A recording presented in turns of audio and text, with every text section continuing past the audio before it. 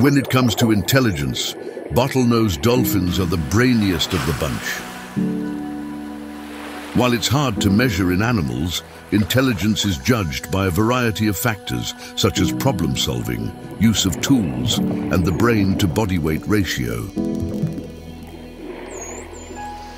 These skills help them thrive in social groups, but unfortunately has led them to be taken advantage of for one purpose entertainment.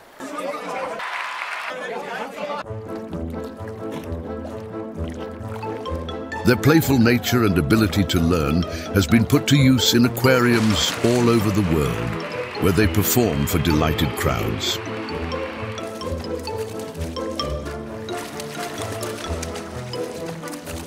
A combination of positive reinforcement and food deprivation are used to train these dolphins to perform tricks over and over again. The shape of a bottlenose dolphin's mouth has the faint appearance of a smile, and the industry takes advantage of this to portray them as happy animals enjoying their captive life. In the wild, they can travel up to 80 miles a day, and so tanks, no matter the size, can never provide a comfortable environment for them.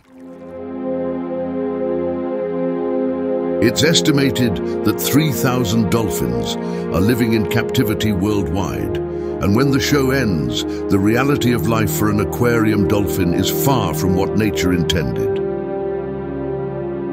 Their holding tanks are the equivalent of a jail cell, and they face lack of stimulation, aggression from tank mates, and sun exposure among many other threats.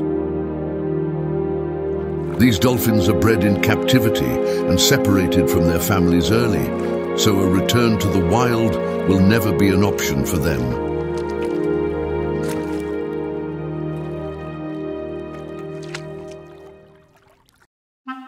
The bottlenose dolphin is truly happiest in the wild, and these species are found in Baja as in many oceans around the world.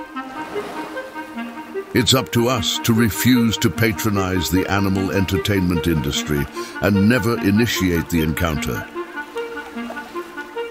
But as is their nature, they will often seek you out and give you a show on their terms.